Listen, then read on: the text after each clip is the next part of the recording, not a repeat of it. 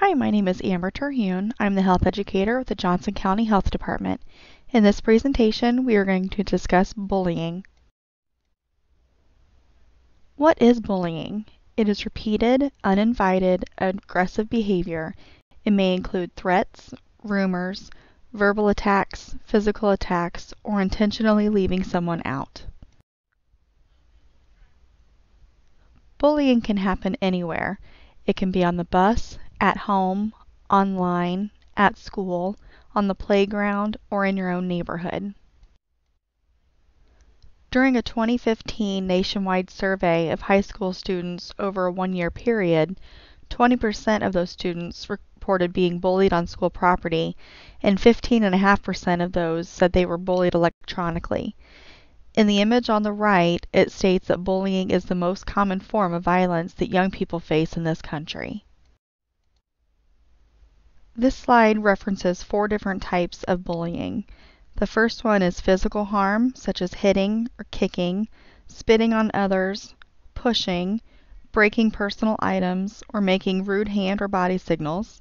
The second one is verbal, which may be stated or written, and this includes teasing or taunting, name calling, sexual comments, or threats. The third type is social, which can be hurting relationships, and this can include excluding others or telling others to exclude, rumors, or purposeful embarrassment. And the last one on this page is cyber or electronic technology, and this can include cell phones, computers, tablets, social media, text messages, websites, chat rooms, pictures, videos, or fake profiles. Cyberbullying is different in that it is 24 7. It can be all the time. And it can be anonymous. Anyone can post anything without putting their real name.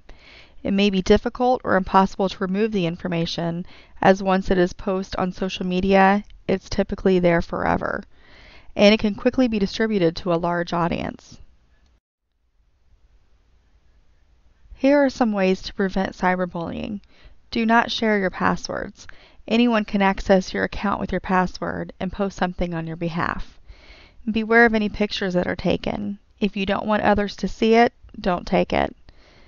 And beware of any information that you share with others, whether it is electronic or written, or just verbally shared and have open communication with adults, such as parents or trusted friends.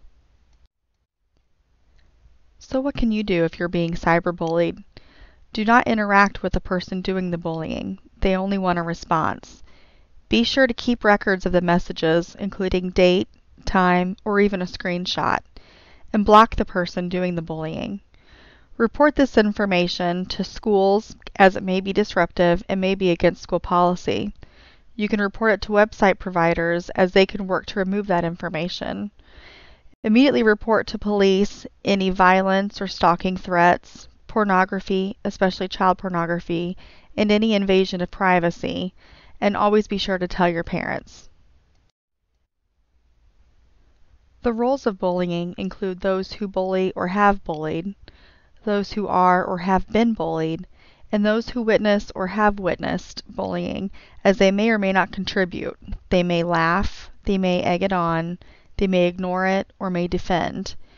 Be careful not to refer to someone as the bully or the victim, as it gives the impression that the behavior cannot change. Anyone is at risk of being bullied, but typically those who are bullied seem weak or seem different. They may be overweight or underweight, may wear glasses, have different clothing, may be new to the school, or may not have as many material items as others. They may not be popular or they may have few friends. They may already be depressed or have low self esteem, and they may not get along well with others. Some groups are at even higher risk of being bullied, and this harassment may be covered under federal or state laws. The first one listed is the LGBT community, as others may perceive them as being different. The second one is religion, as this may be based on negative perceptions that others have of different religions. Then there's disabilities, such as physical, mental, social disabilities, or they may have severe allergies. And then different races and ethnicities may be at higher risk of being bullied, especially if they are a minority group. Some people are at higher risk of bullying others. They may already have issues at home, such as domestic violence or lack of support. They may have problems following rules. They can be quick to aggression or violence. Some may enjoy social power or the feeling of being in charge, and others may already have low self esteem or are easily influenced. They may have a positive view on violence and be friends with others who bully, or they may think poorly of others. They may or may not be stronger or smarter and may use their strength or intelligence to make others feel inferior. Some warning signs of being bullied may be lost or ruined belongings, as someone may be stealing or breaking their items. They could have a change in eating habits. The stress may cause them to eat more, or if they're being teased for being overweight, they may be eating less. They could have a change in sleeping habits. Some may sleep less as they are constantly concerned about what is going to happen to them the next day, and others sleep more as they start to go into a depression. They could have a change in schoolwork and interest in activities. Their self esteem may become lower.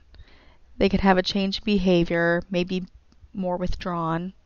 They often feel sick, whether it's because they don't want to go to school or the stress of the bullying can physically make them feel sick. They may avoid others or may have suspicious injuries. Some warning signs that someone is bullying others may be that they are getting into a lot of fights or in trouble. They may have new items or money that they're taking from someone else. They may have friends with those who bully others as well. They may have a refusal to accept any responsibility for their actions, and you may notice that they are more aggressive or competitive. It's estimated that only about 25% of those being bullied will tell anyone. Some reasons for this is they may feel humiliated that they are going through this. They may feel isolated or feel like they don't have support. They may fear rejection, that no one will believe them. They may feel retaliation, that the bullying will only get worse. They may feel weak and they want to feel in control. Some effects of being bullied may include loss of interest in their hobbies, activities, or schoolwork. They may turn to substance abuse in order to dull the pain that they feel. They may violently seek retribution, as we have sometimes seen in workplaces or schools. Their school achievement may be decreased as they have lost interest. They may turn to self harm or attempt suicide and they may have mental and or physical health changes such as changing in sleep habits, depression, anxiety, low self-esteem. People who bully others often engage in risky behavior, so some of the effects of bullying others may include criminal activity, substance abuse, which may be to dull the shame that they feel for bullying others or to deal with any underlying issues they already had, they may be more likely to drop out of school or engage in early sexual activity, and they're often more likely to abuse others as adults, whether that's other adults or children. Fortunately, most of those who are bullied do not attempt suicide, but usually when they do, they have other underlying issues, whether that's at home or school, and may feel like they are unsupported and that the bullying has just made a bad situation worse.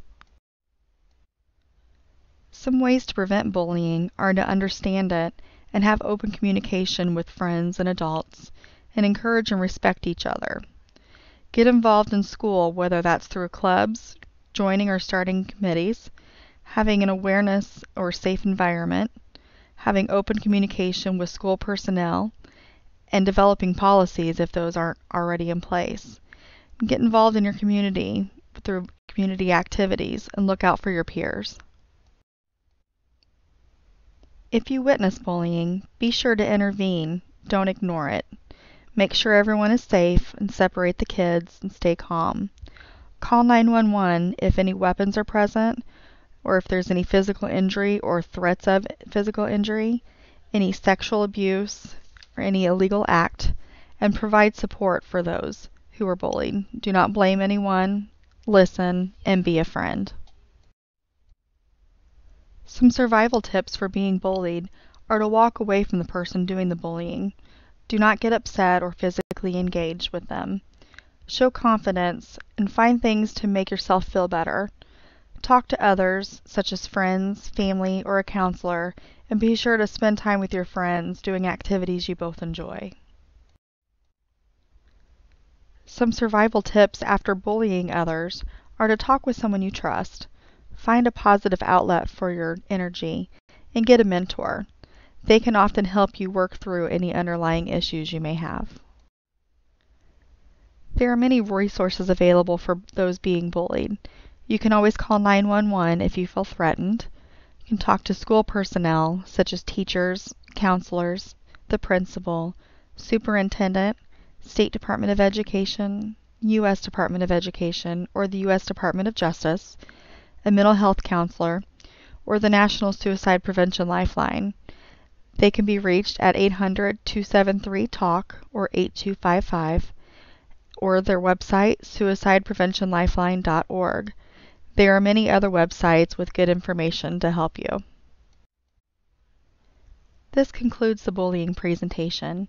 If you have any questions or concerns, please talk to a friend or trusted adult. Thank you.